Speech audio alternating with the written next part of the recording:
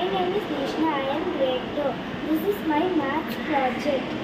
I will do this is in order the the work of the years. This is uh, my small brother. Uh, this is uh, my brother. This is me. This is my uh, aunt. This